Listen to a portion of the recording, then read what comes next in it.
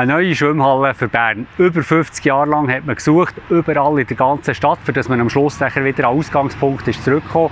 Hier im Neufeld, integriert in ein Sportzentrum, entsteht die neue Schwimmhalle.